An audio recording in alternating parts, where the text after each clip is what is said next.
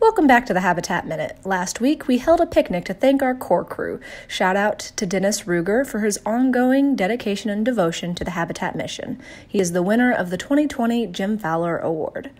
Out on the build sites this week, core crew completed the crawl space and finished the decking on Courtney's home. They also built a number of large components to use this coming week. Future homeowner Brooke made the selections for her Habitat house this week. From cabinets, countertops, and flooring to siding, this home will be tailor made for this family. Kana's home was painted with the help of Donaldson Capital Management volunteers. Thank you to DCM for sponsoring Kana's Habitat home. This was the first time DCM reps and Kana were able to meet in person. Additionally, the foundation of Brandy's home was completed. More details on this unique build coming next week. Lastly, Habitat's spotlight of the week is future Habitat homeowner Brooke O. She says, I really appreciate everyone for believing in people and believing in change. You are definitely a godsend.